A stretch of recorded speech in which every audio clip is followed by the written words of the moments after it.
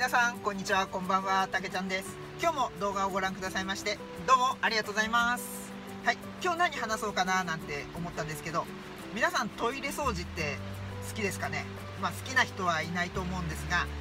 まあ、あのよくですね自己啓発の本とか、まあ、成功者の話とか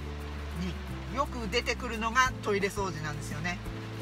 ま、トイレ掃除をすると金運が上がったり、まあ、自分の運気が上がったりするっていうそういう話なんですがなぜあの、まあ、トイレ掃除をすると運気や金運が上がるかっていう話をしたいと思います、まあ、自分はですね、まあ、トイレ掃除とか、まあ、家の掃除もう全然やってなかったんですが最近トイレ掃除を、まあ、毎日やるようにしております。毎日って言っても本当、まあ、最初はすごく汚れてたんで綺麗にするのにあの30分ぐらいかけてやったんですがその後っていうのはもう本当12分あのまあちょこちょこってやる感じなんですがあの毎日やっております。そうしますとあのまあ、まず、まあ、行動力っていうのが上がりました。そして、あのまあ、トイレでな、まあ、人の一番汚いものをあの流してくれるんですごく悪い、まあ、運気っていうのが溜まりやすいところそういうところですしあのすごい、まあ、汚い場所の象徴ですよね。そういったところをこう、まあ綺麗にするっていうまあ、その姿勢が、あのすごく自分の運気をアップしたり金運をアップするっていうことらしいんですよね。そしてあのやっぱ自分もやってみて、あのまあ、こうやって毎日動画を撮るとかそういった行動力もつきましたし、まあ、ついてるってよく言ってるんですけど、まあ、ついてることも本当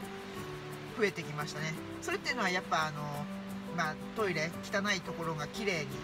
なって、まあ、自分の、まあ、気持ち気持ち的なものもすごくあの上がるっていうんですかね。あの汚いところが綺麗になってあの、まあ、無意識のうちにこう気持ちが多分上がってると思います。なのでですねあの、まあ、掃除をすることによってあの、まあ、行動でき行動力がついて、まあ、行動することによって成功の確率が高まると思うんであの、まあ、成功者っていうのはあのトイレ掃除をすごく進めてると思います。なのでですね皆さんもあのトイレ掃除まああのまあ、公衆トイレとかそういったところではなくて、まあ、自分の使ってる会社とかあの自宅のトイレだけはあの綺麗にするっていうそういう気持ちで、まあ、気持ちだけじゃなくてややるっていう風にしてもらいたいですね。自分の会社はですねあのお掃除おばさんがやってくれるんでやってないですが、まあ、自宅だけもう毎日やるようにしてます。はい。では今日も最後まで動画をご覧くださいましてどうもありがとうございます。たけちゃんでした。ついてるついてるついてる